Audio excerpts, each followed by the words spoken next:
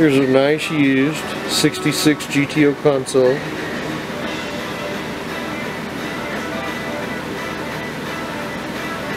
And here's a close-up of that console. See, it looks nice. Nice used.